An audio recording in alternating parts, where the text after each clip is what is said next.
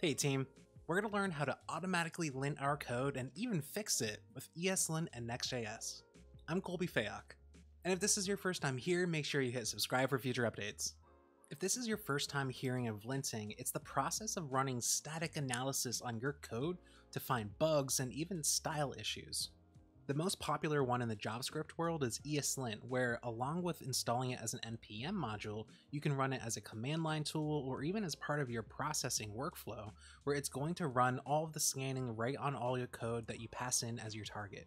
Now you might already be familiar with Next.js, but it's a React framework where it gives a lot of tools on top of React right out of the box that helps us build amazing web apps. The cool thing is they recently released Next.js 11, which includes a bunch of things, including something called Conformance, which is a program that they've been working with the Google Web Platforms team, which includes a ton of great things with ESLint included, where now linting is built right into Next.js. Now, this conformance model from the Google team is a way for them to help web frameworks like Next.js or others where they can build in these experiences right into the framework so that developers don't even need to think about having these things out of the box, where we can run things like linting, but as well as have safeguards for things like accessibility and security and performance where we can really help develop a better place for the web. Now, as great as linting built right into Next.js is, the only downside is it really only runs it on build or production builds, where this is only going to shout if you're running that locally or if you're pushing this out to a CI CD environment and you end up getting a failed build because you have some linting errors. Now, that's not to say that you can always run next lint right inside of your project locally, but you also have to remember to do that. So we're going to also learn how to automate this. And to do that, we're going to use the tool Husky, which is an easy way for us to manage Git hooks so that we can set it up so that these linting rules are ran anytime that we try to commit. And because ESLint actually is able to fix some of these problems out of the box, not only are we going to automate linting, we're also going to automate fixing some of these problems so that we don't have to think about it at all when we're committing our code. So to do this, we're going to get started using create next app to create a new Next.js application. So inside my terminal, I'm going to run yarn create next app, and I'm going to pass in a new name for that project. I'm going to call it my ESLint Next.js. And once you run that command, it's going to go ahead and clone down a new template, and it's also going to install the dependencies. So now we can run cd my ESLint Next.js. We can even run yarn dev, which is going to start at the development server. And if we load that up inside of our browser, we can see that we're going to get a new Next.js application right out of the box. So while we're not actually really going to do much development of the application itself, it's a good way for us to be able to start testing things and see what it looks like when we're trying to lint our code that makes this project. Now, as we saw inside of the Next.js documentation, ESLint comes out of the box with Next.js. We can see that inside of our dev dependencies where we have ESLint and we even have a next config for ESLint, but we can see under scripts, we have this lint script which runs next lint. If we try running this inside of our terminal as is before we make any changes, we can see that it will go through, it'll run nextlint, but we currently don't have any ESLint warnings or errors. And that's because everything coming out of the box with Next.js is compliant. Now to test this out, let's open up the pages index.js file, and we're going to scroll all the way to the bottom where we're going to look at the image tag. Now, one of the ways that Next.js uses linting is for accessibility concerns, and one thing that's very important for accessibility is including an alt tag on all images. Now, we don't want to actually commit a change with no alt tag, but let's see what happens if we remove this alt tag and we go back over to our terminal and we run yarn lint and we can see just like before, it's going to run next lint, but this time as it goes through, we actually see this warning where it says image elements must have an alt prop. While this is just a warning, alternatively there might be errors with ESLint, we can see that we're getting this rule that's getting fired because we never included an alt tag. And that's going to say that it's warning us that we want to be able to add an alt prop to all images to make sure we're trying to do as much as we can for accessibility. But now as expected, if I add that back in and I try running it one more time, we can see that it's going to go through, and because that alt tag is back there, we're going to get no ESLint warnings or errors. Now, as we mentioned, we have this ESLint config Next.js, where if we head over to this file in the root of the project, .eslintrc, we can see that this is the ESLint config that Next.js comes with out of the box, where it's extending this next config that Next.js maintains for the framework, but also we see this next core web vitals, which includes additional rules that correspond to the web vitals that come from the Google team. But because we have this configuration file, this means that we can actually configure this file to our liking and add rules and even ignore rules that we might not like. To test this out, I'm going to add a new rule that's going to add an error anytime that we have variables defined in our project that are currently not being used. To do that inside of my ESLint RC file, I'm going to add a new rules section where I'm going to do just that, define no unused variables, and I'm going to say I want it to error. Now alternatively, I can say that I want it to warn, but we're going to leave it as an error to see what that looks like. Back inside of my home page, I'm going to simply add constant test equals true, and we're going to just make sure that we don't use this anywhere inside of our project. But now, if I go back to my terminal and I run yarn lint, again, it's going to run nextlint, but as we can see, once it finishes, we're going to actually get an error this time where it says test is assigned a value but never used, and it's attributing that to the no unused variables rule, which we just added inside of our config. Now this can be really handy for keeping your code clean and making sure that you don't have anything defined that could be confusing for somebody that might be coming in, see this variable, not see it being used, and don't want to remove it because they're not sure if it's doing something that they're not sure of.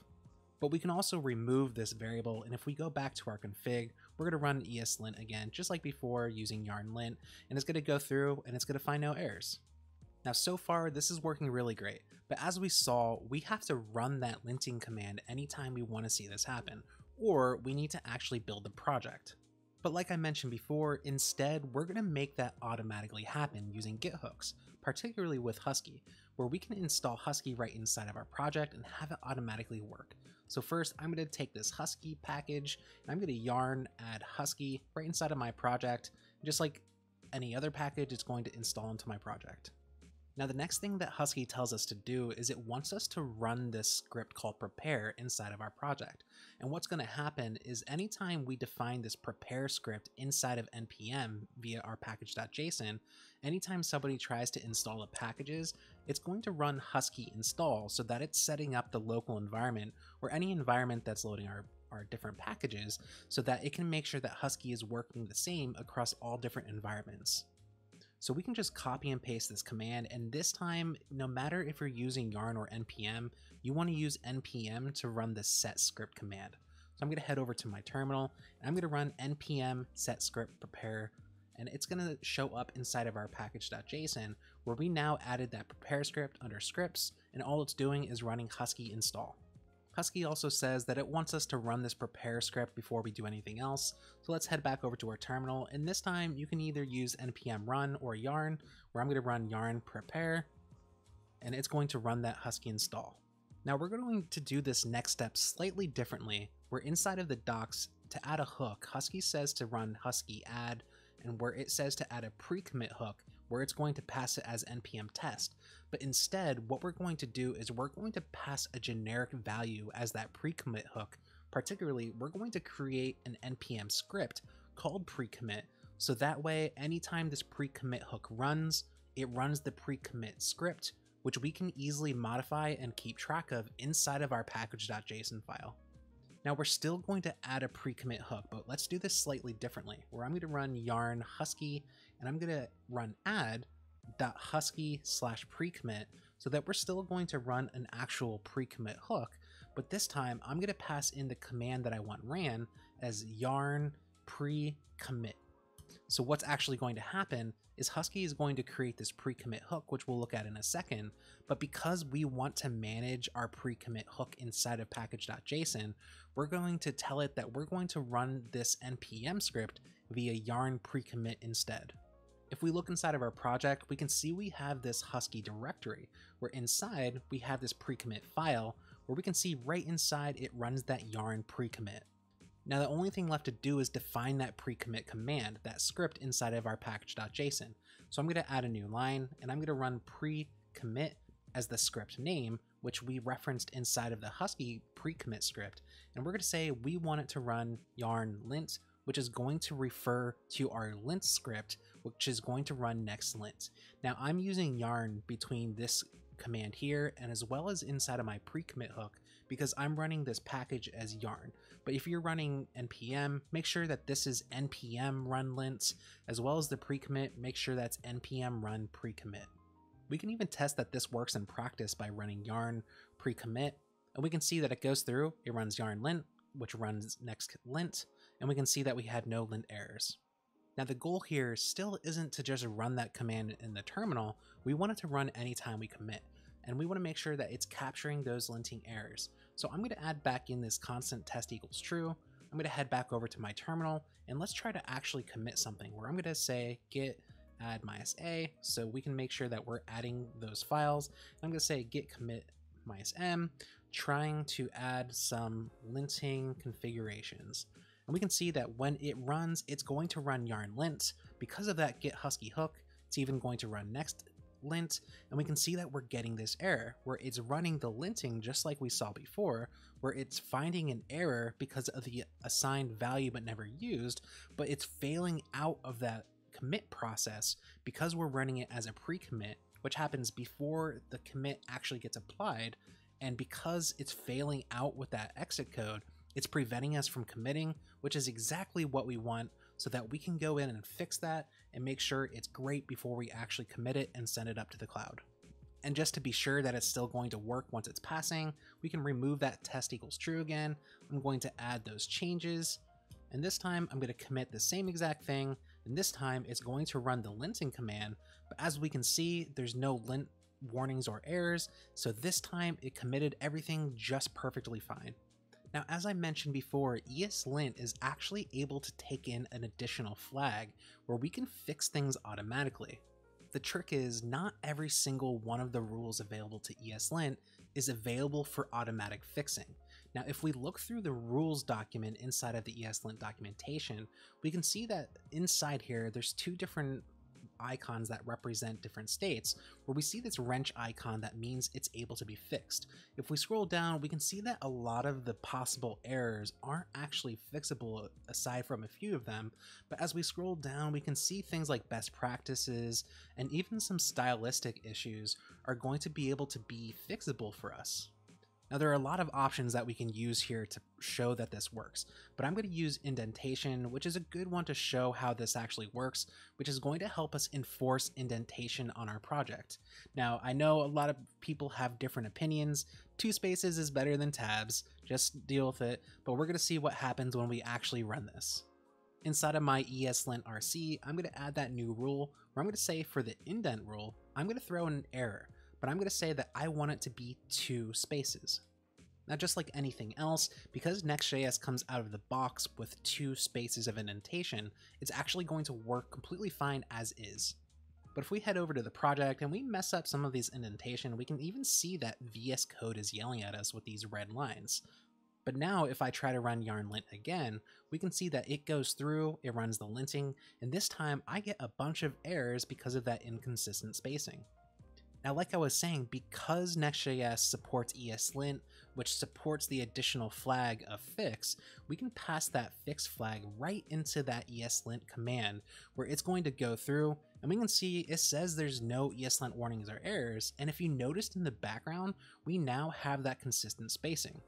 We didn't have to do anything in order to get that to automatically fix our code. So what we want to do though, is we want to make it so that anytime we try to commit, Similar to running that error if we are breaking rules, we want to try to fix as much as we possibly can instead of having to manually do it ourselves.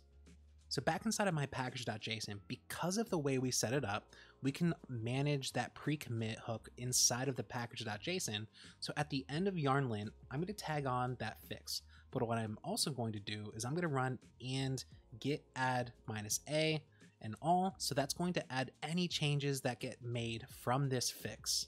Again, I'm going to go back to all those broken changes and let's see what happens if we try to commit this. So like before, I'm going to run git add minus a, git commit minus m, committing some auto fix, and this time when it runs, it's going to run yarn lint with the fix, and it's going to automatically fix all of that stuff right inside of the pre-commit hook, which is a beautiful thing. It's also going to run git add minus a to add all those changes to the commit stage. And now we have that commit where our code is beautiful, optimized, and we're ready to go with our ESLint rules. Now, one thing I want to point out with this command that I just added is particularly the git add minus a. Now we're not going to actually go into it inside of this tutorial, but you're probably better off using other tools in order to handle what's actually getting added after the lint fix happens. Particularly, I recommend checking out this package called lint staged, where what happens is anytime you run this, it's only going to run on the files that are actually changing as part of the commit and that way it'll additionally only pass in a string of the changed files into that linting command as well as the adding those files back into the project so that you're not adding any random file that you have changed on your file system. It's only going to make those changes to the files that are actually trying to be committed in the first place. But now that we have linting set up, you can take some time to find any of the rules that you want to add, and you don't need to get this perfect the first time. The goal is really just to get something in there, and you can definitely change it as time goes along.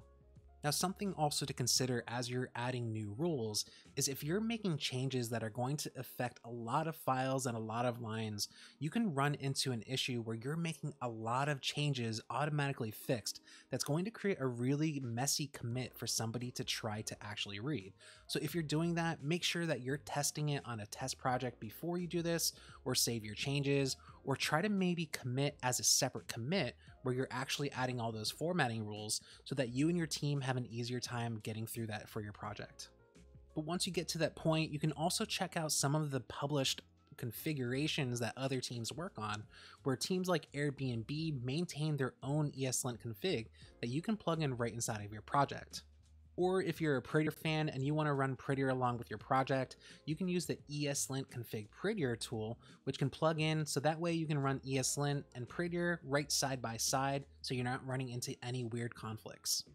Linting is one of the great code tasks that is really great for trying to maintain consistency and trying to avoid bugs in your project. But like other code tasks, it's one of those things that you have to run manually or wait until the CI CD process kicks off, which at that point, maybe it's too late or maybe it's going to lead to frustration if you don't have it applied ahead of time. But fortunately, we can use tools like git hooks and run the fix command where we have a way to do that automatically where we don't ever have to even think about it. What's your favorite ESLint rules or what's your favorite way to automate tasks like that? Let me know in the comments. Otherwise, if you like this video, make sure you hit thumbs up and subscribe for future updates. Thanks for watching.